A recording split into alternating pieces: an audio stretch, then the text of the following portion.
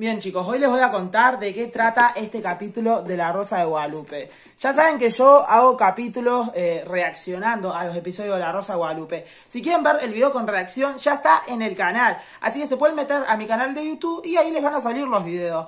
Algo que sí les quiero decir, eh, si quieren ver los videos sin reacción, yo al final de estos videos voy a estar dejando en las pantallas finales de mi blog, también voy a estar dejando un video extra en mi canal por si quieren ver y un botón para que se puedan suscribir. Vamos a verlo al estilo Storytime y al final del video ustedes ya ven. Pero algo que quiero eh, decir es que hago los videos así al estilo Storytime también porque en estos videos Televisa no me puede meter copyright. Por ejemplo, cuando yo reacciono a los capítulos, yo siempre lo digo en cada video a esto para que tengan en cuenta que eh, luego con reacción y también hacía el estilo Storytime porque en esos videos con reacción sí me puede meter strike, pero en estos no. Entonces estos videos yo sí los puedo monetizar. Bien, entonces, eh, bueno, en fin, por eso. Así que bueno, ya lo saben, vamos a comenzar con este capítulo. Pero antes de comenzar, vayan suscribiéndose al canal y activando la campanita. Así YouTube les avisa cuando subo video nuevo. Voy a estar con la frazada porque la verdad, acá en Uruguay, bueno, me ven más en México, pero en Uruguay ya estamos en pleno invierno. O sea, estoy acá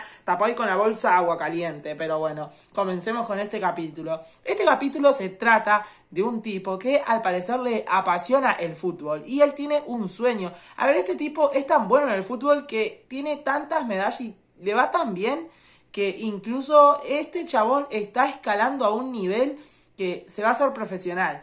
Este chabón eh, se ve que tiene una novia, pero esta novia no es muy buena. Él anda solo con ella por ser popular. ¿Y qué pasa? Y ella anda solamente con él porque le va bien en el fútbol y porque, bueno, eh, se hace la interesante, la que, ay, ando con este chabón que es el mejor en el fútbol.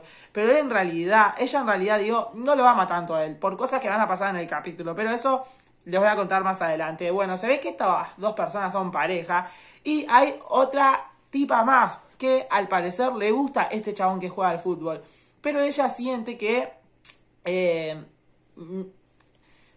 siente que este chabón nunca va a ser para ella. ¿Por qué? Bueno, ¿qué pasó? Se ve que un día están en el colegio y estas dos personas se ve que se chocan y eh, a ella se le caen los libros y este chabón empieza a conversar con ella y a ella eh, realmente le gusta mucho este tipo. Y ahí justo cuando están conversando, que le está pidiendo disculpa él a ella, que no se fijó bien, se aparece la novia del chabón, la Popu, y le empieza a decir cosas como que, ay, que te andas fijando en mi novio no sé qué, eres una buscona y esto y lo otro. Y es como que, a ver, nadie está, nadie es ninguna buscona. O sea, el chabón iba por los pasillos, se tropezó con ella, le tiró los libros, la quiso ayudar, eh, y bueno, y así eh, salió charla y ya está, ¿entiende? Pero no, la chabona se ve que ahí de insegura, bueno, empezó a decir cosas a la chabona y en fin. ¿Qué pasó?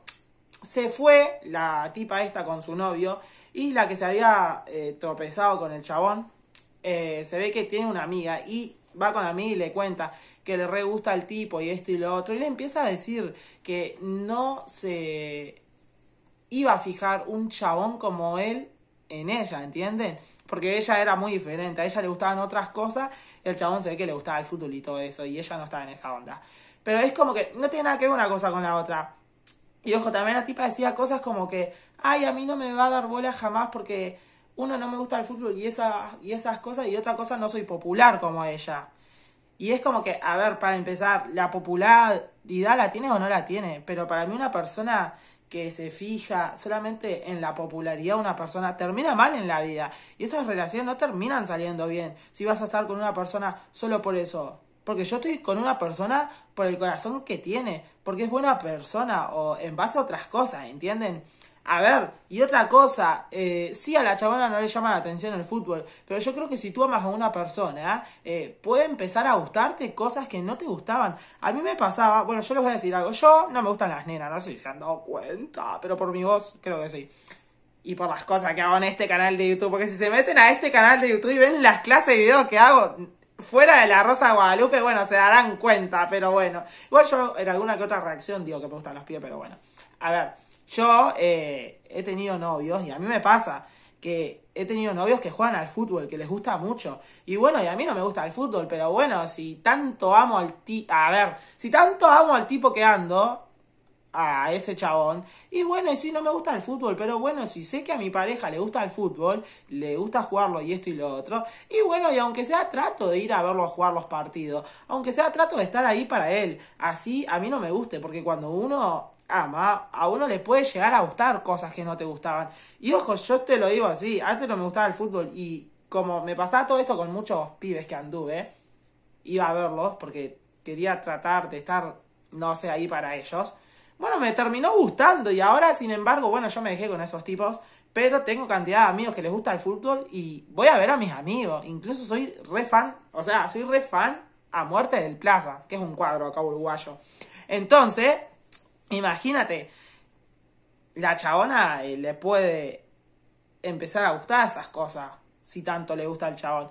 En fin, bueno, pasó todo esto, se ve que mm, el chabón eh, tiene a la novia esta, a la Popu, y se ve que a la Popu esta la invitaron a una fiesta. Y esta chabona eh, tenía que... Ah, otra cosa que les quiero decir antes de seguir con esta parte, ya les voy a contar esto, pero... Ah, los padres, eh, les quiero contar que están súper orgullosos del hijo. Me puedo haber salteado esta parte, pero bueno, tengo que contar todo porque esto es story time. Los padres están súper contentos con el hijo, o sea, lo apoyan en todo. O sea, él quiere ser futbolista y todo, y su sueño es jugar y ganar sus medallas. Los padres eh, lo apoyan al 100%, ¿bien? Bueno, ahora volviendo a lo que les estaba diciendo, se ve que un día a la novia de este chabón eh, la invitaron a una fiesta y ella podía invitar a alguien. Entonces, ¿a quién fue a invitar? Al novio, o sea, al tipo este que juega re bien. ¿Qué pasó? Se ve que en estas fiestas eh, tomaban bebidas, ya saben de qué tipo de bebida, pero a ver, se ve que invitó a la chabona esta, o sea, le invitaron a ella a una fiesta y ella invitó al novio. Y ahí terminó en esa fiesta, el padre eh, le dijo a su hijo, mira, si vas a ir a la fiesta, porque el padre le, a ver, el hijo le comentó al padre, que iba a una fiesta y esto y lo otro, y le dijo al padre, bueno, si llegas a tomar o te llegas a pasar de, de alcohol, me puedes pasar un mensaje y yo te voy a buscar a la fiesta, o sea, no, no hay ningún problema. Pero no vayas a agarrar el volante si estás tomado. Y bueno, el hijo contaba con eso, que si llegaba a tomar de más, el padre lo iba a ir a buscar. Bueno, ¿qué pasó? Se ve que en la fiesta, eh, sí, ellos terminaron yendo.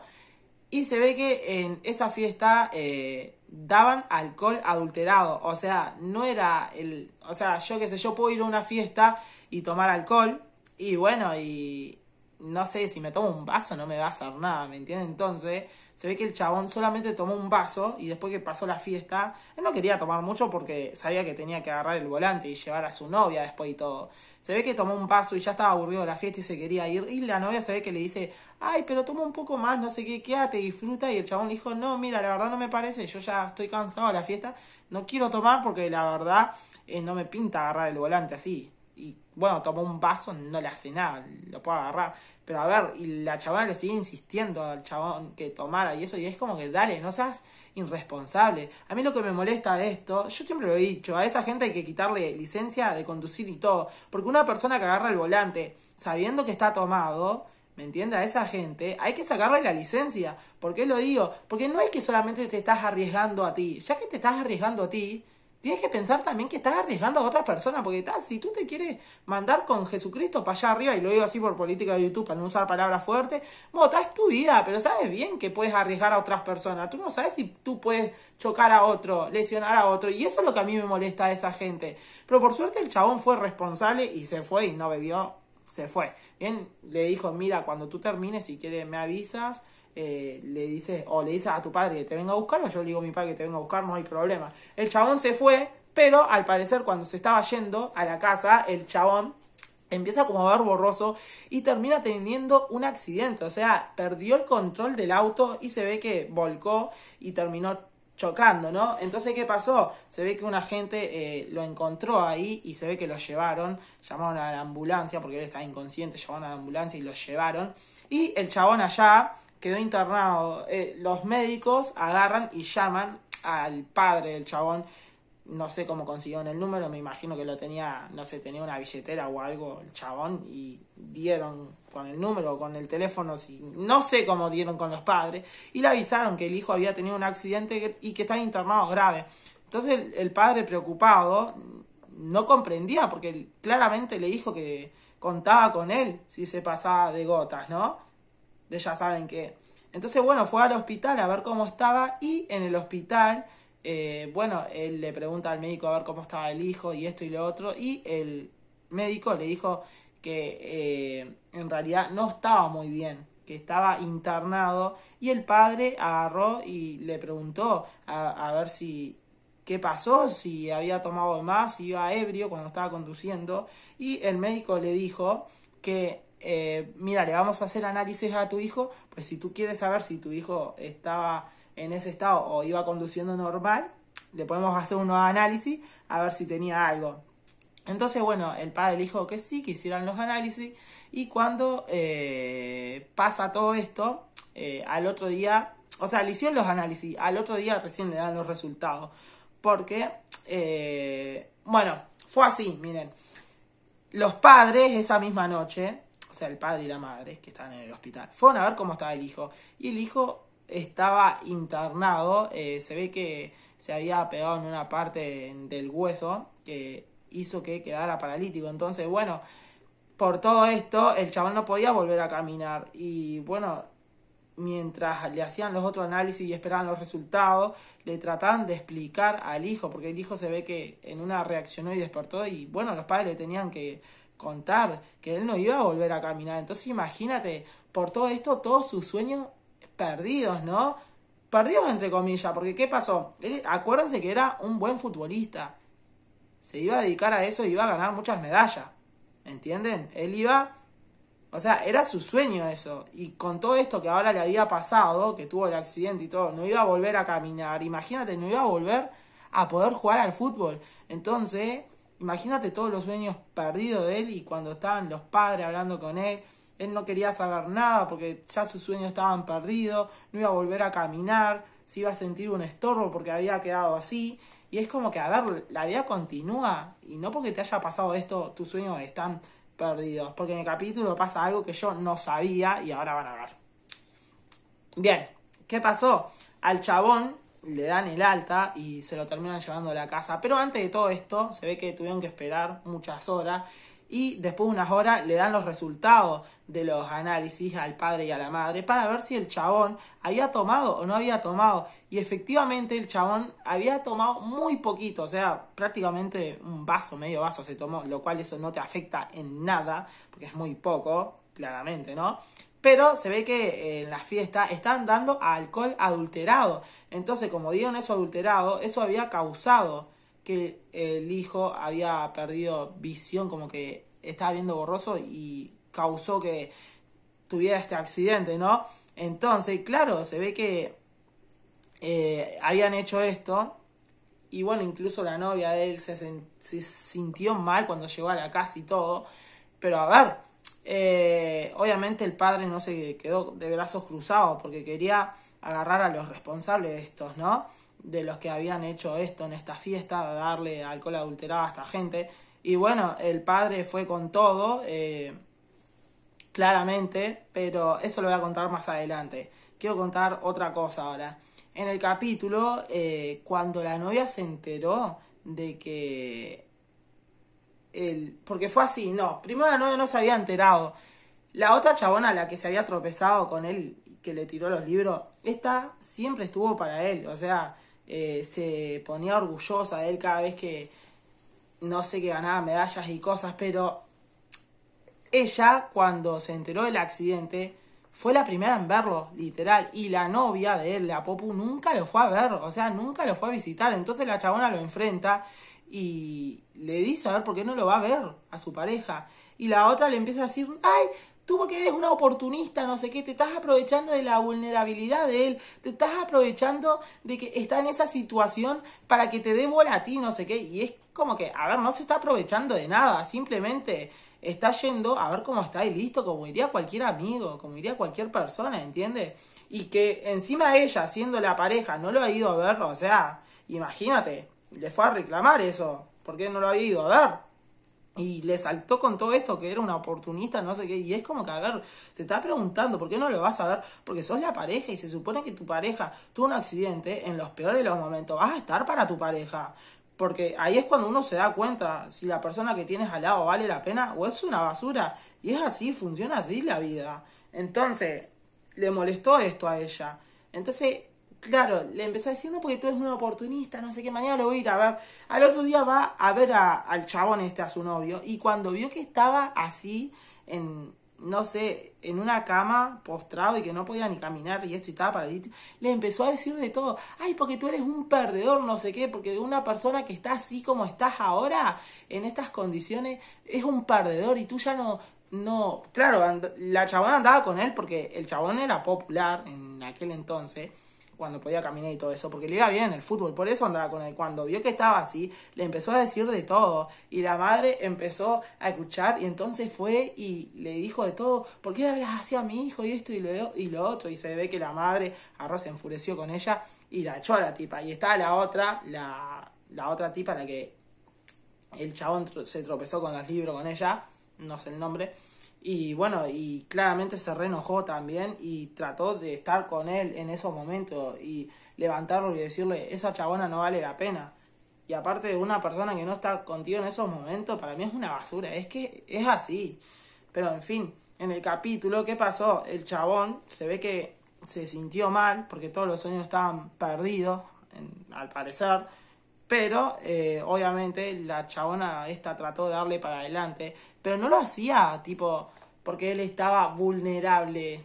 Lo hizo porque realmente lo sintió de corazón y realmente lo quería y no porque él estuviese en esas condiciones iba a sentir, no sé, para ella era un era su ídolo, ¿entiendes? No porque él estuviese en esas condiciones iba a dejar de hablarle. Simplemente estuvo, como cuando el chabón estaba bien no estaba siendo una oportunista como lo estaba diciendo la otra persona. Aparte la otra tipa ni lo amaba, si lo trató como lo trató, imagínate. Entonces trató de decirle que no todo estaba perdido y trató de ayudarlo. Y al parecer el entrenador le dice, mira, tus sueños no están perdidos porque existen eh, el fútbol para las personas que están en silla de ruedas. Yo esto no sabía, pero eh, se ve que hay muchas personas que están en silla de ruedas que así en silla de ruedas pueden jugar al fútbol también. O pueden jugar al básquetbol también eh, porque vieron, para el básquet simplemente o te mueves en silla de ruedas y puedes jugar. Yo no sabía de esto, entonces le, empezó, le empezaron a comentar a él que él, en realidad los sueños de él no estaban perdidos, que podía jugar al fútbol o a otras clases de deporte en silla de rueda y eh, él quiso probar, ¿no? Dijo, bueno, si se pueden, al parecer no estaban tan perdidos los sueños y jugó y cuando fue a jugar al deporte en un cuadro nuevo que era todo en silla de rueda, hay un tipo que llegó así en, no sé, eran todos tipos en silla de rueda, cuando llegó el tipo, este, el que le pasó todo esto, le empezó a decir cosas, lo empezó a tratar mal. Y es como que, dale, recién está llegando y lo está tratando mal. Y ahí te das cuenta, como siempre tiene algo que envidiarte, porque el chabón era profesional y aunque quedó en silla de rueda, seguía siendo profesional, seguía jugando increíble hasta estando en silla de rueda, ¿entienden? Entonces imagínate, siempre hay gente que te va a envidiar, te va a querer tirar para abajo. Entonces es como que ese chabón tenía una hermana y yo no puedo comprender cómo el chabón este se fijó en la hermana de ese tipo, que fue el que, o sea, lo trató mal él y se va a fijar en la hermana o sea, no, no podía comprender eso. Cómo se fijó en ella en vez de fijarse en la otra tipa que siempre estuvo para él, que le trató de dar para adelante en su sueño, que a pesar de que había quedado en silla de rueda o paralítico de los pies, le dio para adelante. En vez de fijarse en ella, que siempre estuvo, se fue a fijar en otra. Claro, pero la otra chabona, se ve que se lo fue a cargosear al chabón, pero no era con intenciones buenas. Estaba haciendo todo eso porque se quería deshacer de él, porque él, aún estando en silla de rueda, era tremendo jugador. Entonces, para el hermano, eh, no le iba, o sea, no le convenía que él estuviese en ese cuadro ahí, que jugaban todo en silla de rueda. Entonces se quería deshacer.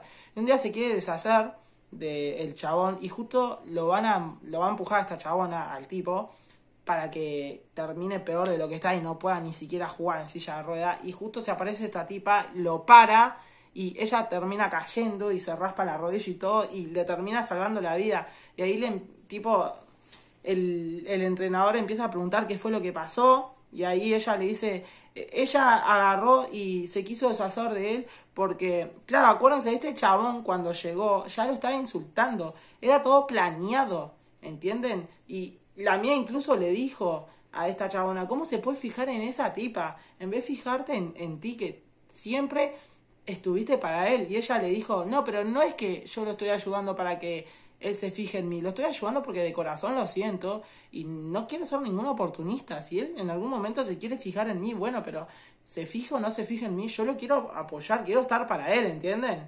Entonces, claro, se ve que la tipa está, eh, se quería deshacer de él. Y bueno, después de que pasó todo esto, ahí se dio cuenta que otra vez cometió otro error. Se había fijado en la otra tipa por ser Popu, después se fijó en esta, se dejó llevar y todo. Y después que pasó todo esto, claramente el entrenador a esta tipa y a este tipo los terminan corriendo, no quieren saber nada y él termina jugando el campeonato y termina literal ganando las medallas. Después que gana las medallas, el chabón se da cuenta de que fue un, imbécil de cómo se pudo haber fijado en, en esta tipa que no valían las penas y le terminó dando, o sea, le dio una oportunidad a esta chabona y le pidió para ser el novio. Ay, cuando le pidió para ser el novio, yo estaba re contento porque dije, sí, es por ahí, es ella la persona con la que tienes que estar. Una persona que está para ti en las buenas y en las malas. Cuando una persona está contigo en las malas, ya sabes que esa persona va a ser para ti y es la gente que vale la pena. Y bueno, y terminan arreglándose y él termina ganando sus medallas. Y vean cómo sus sueños no se perdieron. Pero bueno, mensaje de todo esto. Le arruinaron la vida. Bueno, no le arruinaron porque era al fin y al cabo pudo conseguir su sueño y todo. Y le fue bien en el fútbol. O sea, no estaba tan perdido todo. Pero sí les quiero decir algo. Mensaje de todo esto. Simplemente por ir a una fiesta, tomar del vaso a una persona que no conoce, terminas así, que te terminan adulterando el alcohol. Por eso yo siempre les digo, cuando vayan a fiesta, yo cuando voy a fiesta, yo con mis amigos acá mismo me preparo, no sé, mis caipirinhas, o me compro yo mismo mis bebidas y llevo y yo tomo lo que yo tomo, ¿me entiendes? Pero si tomas del vaso de otro que no sabes lo que puede tener, puedes terminar mal.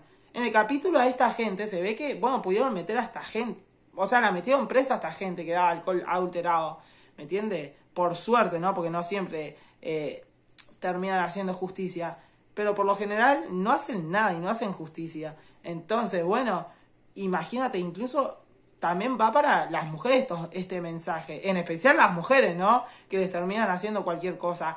No tomen del vaso de nadie, llévense ustedes mismos su propia bebida, para ustedes estar 100% seguros de que están tomando lo suyo, ¿no? Y bueno, y siempre tratar de ir con un amigo que sabes que te va a acompañar para atrás, que sabes que si toma además te va a llevar, te va a acompañar, ¿entiendes? Pero bueno, las chicas y la gente no se da cuenta de lo inconsciente que son de ir a fiesta y tomar del vaso de otro, que no sabe lo que puede tomar. O sea, no sabe lo que puede tener tampoco. Que literal, sí, se tomó medio vaso, pero incluso medio vaso le tomó y con solo estar adulterado, imagínate, le causó todo esto. Que haya tenido un accidente y terminar así, ¿entiendes? Imagínate. Y en fin, de eso trata el capítulo. En fin, suscríbanse, compartan el video, activen la campanita. Si lo quieren ver completo, eh, sin, o sea, con reacción y no al estilo story time, eh, acá les va a aparecer un blog, o sea, lo pueden ver completo, eh, con reacción, sin reacción y al estilo story time. Ahí está mi blog, los invito a ir a seguirme ahí también. Está todo. Eh, también otro botón por si quieren suscribir a mi canal. Y por acá, no sé si este lado, de este lado les va a aparecer. Les va a aparecer un video extra también que YouTube les va a recomendar por si me quieren seguir viendo. No es un video elegido por mí, es un video elegido por la misma plataforma de YouTube, algo recomendado para el usuario. Así que ya lo saben, suscríbanse, compartan el video, activen la campanita y bueno, nos vemos en un próximo capítulo porque se me hace muy largo este video. En fin.